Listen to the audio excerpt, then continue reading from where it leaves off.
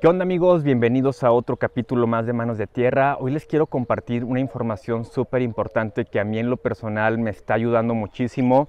Les cuento rapidito. Yo aproximadamente alrededor de 10 o más años he padecido de problemas de gastritis, de inflamación, de colitis, un verdadero desastre en mi estómago.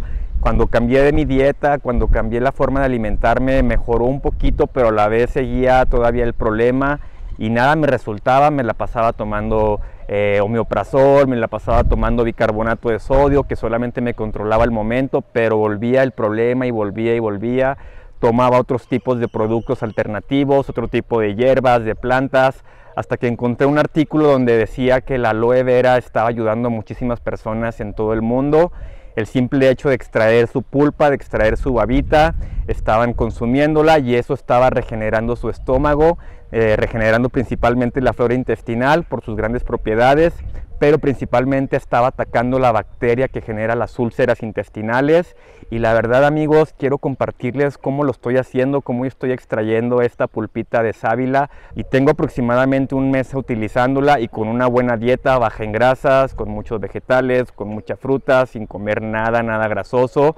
La verdad amigos es que se me está regenerando mi estómago, ya no tengo acidez, ya no tengo gastritis, como les comento, 10 años con el problema amigos, nada me ayudaba y esta increíble planta me está sanando. Así que amigos, en este video les voy a enseñar cómo hacer su medicina de sábila para que si ustedes padecen de estos problemas o otros beneficios que también les voy a mencionar que ayuda a esta increíble planta, lo puedan tener en su casa. Así que quédense amigos, nos vamos a divertir y vamos a aprender mucho. Acompáñenos, venga. Y bueno, pues me encuentro aquí donde tengo algunas sábilas, tenemos muchas más, pero aquí están cerquitas de la casa y es de las que vamos a estar utilizando para hacer la práctica.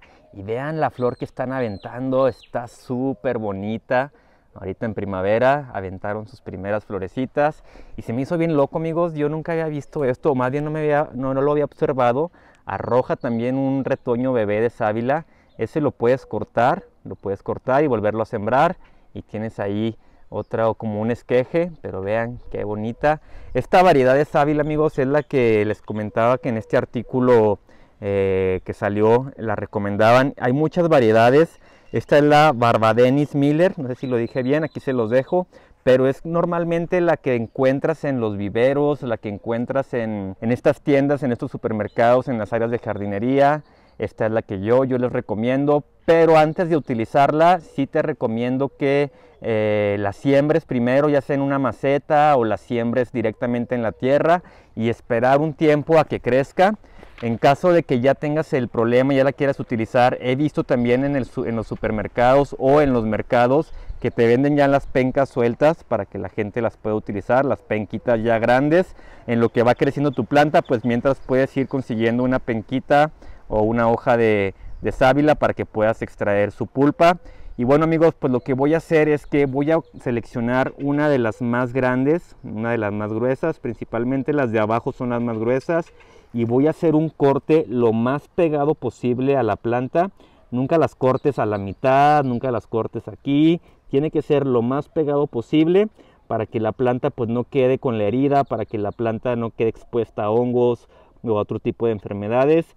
Acuérdate que la sábila pues es un tipo de suculenta, se debe de regar con poca agua, se adapta muy bien a la mayoría de los climas, eso sí, en invierno sí la sufre poquito si tienes heladas, por ejemplo aquí vean, esta sí se quemó un poquito la punta con los, con los frentes fríos que tuvimos, pero la planta se reactivó bien, sobrevivió al invierno a temperaturas a menos 2, a menos 3, si vas a tener temperaturas muy muy frías, pues sí te recomiendo que las tapes con algo para que no se te vayan a helar. Así que amigos, pues voy a cortar dos, dos penquitas para hacer la práctica y nos vamos a ir a la cocina para explicarles cómo se extrae la pulpa para hacer tu propia medicina.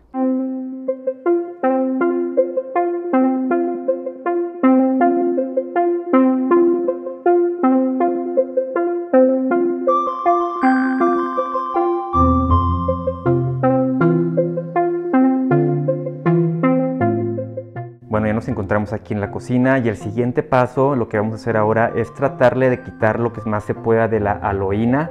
La aloína, para quienes no lo sepan y para los que ya lo saben, eh, es esta sustancia amarillenta que tiene la sábila. No sé si ustedes han utilizado sábila que cortan y se ponen en la piel o en las manos y después se les pone amarilla. Pues esa sustancia viene siendo la aloína. Miren, ahí se les está viendo ya cómo la está escurriendo. Esta sustancia no nos sirve para el uso intestinal, para el uso comestible, amigos, porque esa sustancia amarilla es un purgante muy muy fuerte, el cual si lo usas en bajas dosis y tú quieres tener una purga, pues lo puedes utilizar sin hacerlo, pero yo no te lo recomiendo porque la verdad no sé la dosificación para que puedas purgarte, pero en exceso sí la puedes pasar muy mal. Así que lo que vamos a hacer es que vamos a dejar aquí la planta que escurra aproximadamente una hora para que suelte lo más que se pueda de la aloína, para posteriormente cortarla en rebanadas y ponerlo a agua tibia para que pueda soltar lo más que se pueda de esta aloína y posteriormente extraerle la pulpita. Así que amigos, vamos a esperar en lo que escurre la aloína les quiero platicar en qué otros beneficios puedes utilizar la pulpa de la sábila y es nada más y nada menos que en la piel, es donde más se utiliza, es donde normalmente aquí la utilizábamos nosotros, nos ponemos en la piel, nos ponemos en las manos. Una vez me quemé tanto el cuello y la cara por estar en el sol sembrando unos árboles, pero así de esas de cuando te vas a la playa y te quedas así rojo y que te tocan y te arde, a ese nivel estaba y Gaby me cortó un poco de sábila me la estuvo untando, súper padre así, sentía cómo se me enfriaba la piel. Amigos, les juro que al siguiente día mi piel estaba regenerada.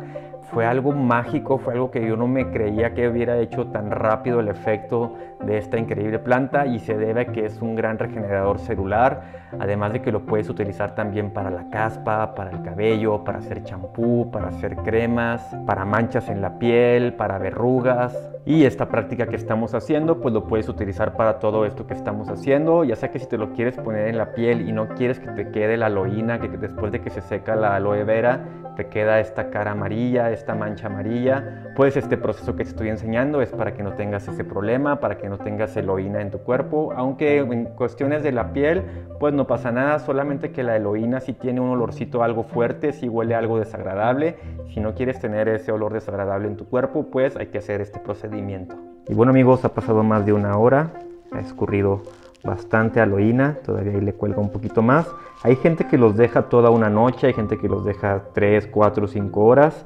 Aquí para hacerles la práctica lo dejé una hora y media, pero de todos modos amigos vamos a hacer otro proceso para poderle extraer lo más que se pueda de esta aloína.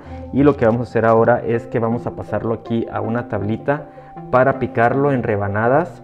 Vamos a hacer cuadritos grandes, ¿sí? Para posteriormente pasarlo a una olla con agua tibia agua que no esté caliente ni que esté hirviendo, sino que agua tibia y lo vamos a dejar en el agua tibia 15 minutos para que se pueda extraer lo más que se pueda de esta aloína y posteriormente poderle extraer la pulpa. Así que vamos a cortarlo y ponerlo en agua tibia.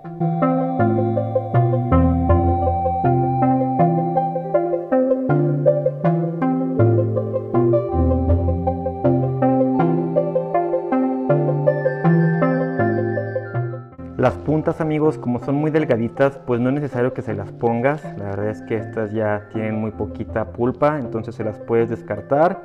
Vamos a pasar estas a la olla, ya la tengo ahí con el agua tibia. Y bueno amigos ya metí aquí el dedo, la prueba es de que no te queme el dedo, si te quema el dedo es que está muy muy caliente y no queremos eso, nada más tiene que estar tibia. Las vamos a meter aquí adentro durante unos de 10 a 15 minutos, yo siempre las dejo 15 minutos y es más que suficiente cada dos o tres minutos puedes estarle dando vueltas, darle una meneadita con una palita para que pueda soltar lo más que pueda de esta aloína.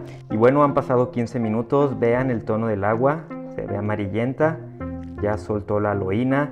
Lo que vamos a hacer ahora es que le voy a dar una enjuagada aquí en, mi lavabo con agua limpia y posteriormente voy a secarla bien, a, la voy a secar con alguna servitualla porque no debe de caerle nada de agua al momento que estemos rascando la pulpa, que se vaya nada más la pura pulpita. Así que esto es rápido, le damos una enjuagadita, lo secamos con una, con una servilleta, una servitualla o algún trapito. Y ya que hayamos enjuagado y secado nuestras penquitas de sábila, el siguiente paso es hacer unos cortes de aquí de las orillas donde tiene estas espinitas que no las necesitamos realmente. Cortamos de esta manera.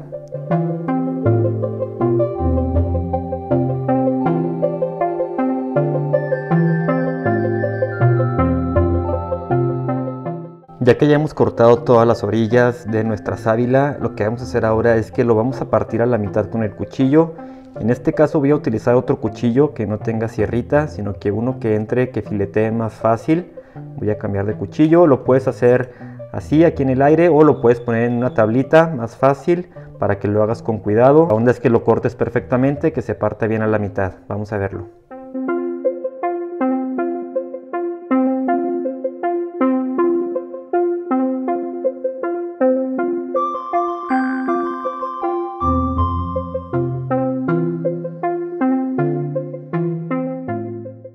Y el siguiente paso pues es con una cuchara, te apoyas con una cucharita y empezamos a rascarle toda la pulpita a los pedacitos de la aloe vera de esta manera y así lo hacemos con todas las demás, rascándole muy muy bien para extraerle todo lo que se pueda.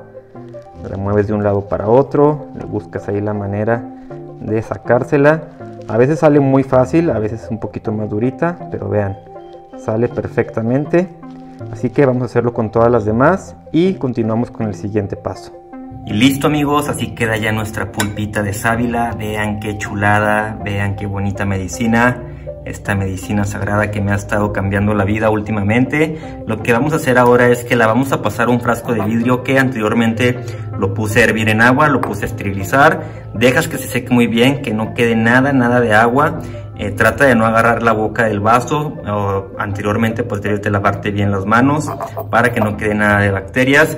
Y después de que lo hayamos metido lo vamos a meter al refrigerador y ahí lo vamos a tener siempre. Nada más lo vas a sacar cuando lo vayas a utilizar. Ahorita les voy a explicar cuál es la dosis que yo utilizo para que lo pongan a práctica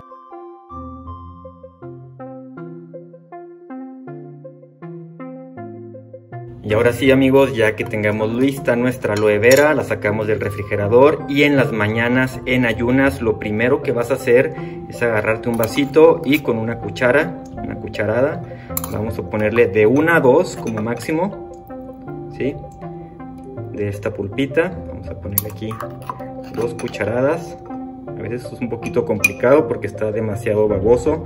A mí en lo personal no me desagrada el sabor, se me hace, se me hace muy rico aunque a Gaby no le gusta.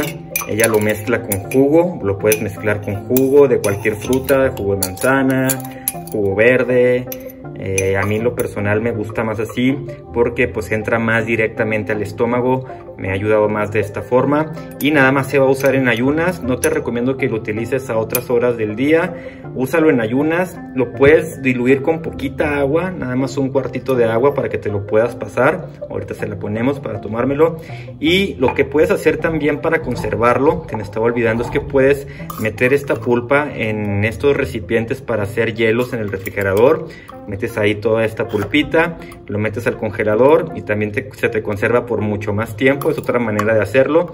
Yo en lo personal no lo hago, lo hago más así porque se me hace más rápido y en la otra forma pues tienes que esperar a que se te derrita o tomártelo así el hielito eh, en un vaso con agua, pero a mí me ha funcionado de esta manera con un poquito de agüita, un cuarto de agua o diluirlo en un poco de jugo por si no te gusta el sabor.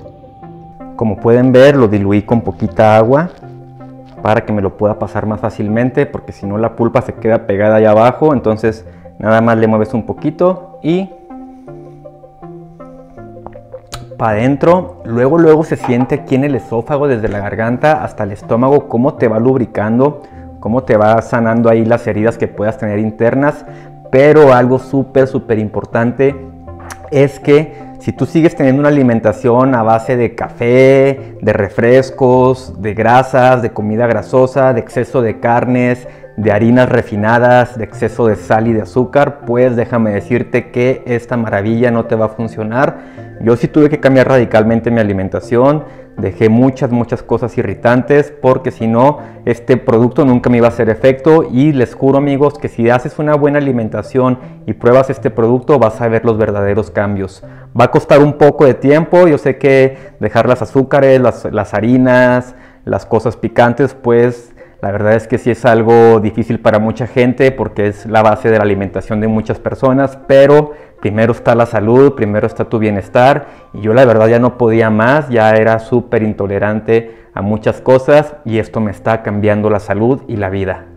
Y recuerda que esta pulpita la puedes utilizar para ponértela en la cara, ponértela en el pelo, en la piel, en heridas, en quemaduras, en un buen de cosas. Aprovechenla amigos, la verdad es que es una maravilla.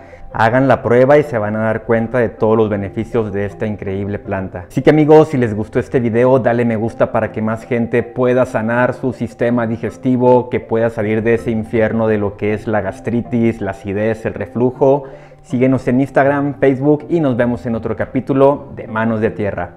Hasta la próxima amigos y a sembrar aloe vera. Un abrazo a todos. Bye.